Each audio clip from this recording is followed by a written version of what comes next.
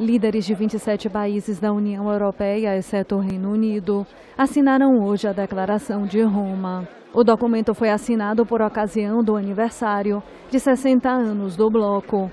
A declaração ressalta a unidade e a indivisibilidade dos países membros e a vontade de seguir avançando no projeto europeu. Além dos líderes do bloco, assinaram a declaração os presidentes do Conselho Europeu, Donald Tusk, da Comissão Europeia, Jean-Claude Juncker, e da Eurocâmara, Antônio Tajani. O documento cita os desafios sem precedentes dos 27 países membros, incluindo os conflitos regionais, o terrorismo, as pressões migratórias, o protecionismo e as desigualdades sociais e econômicas.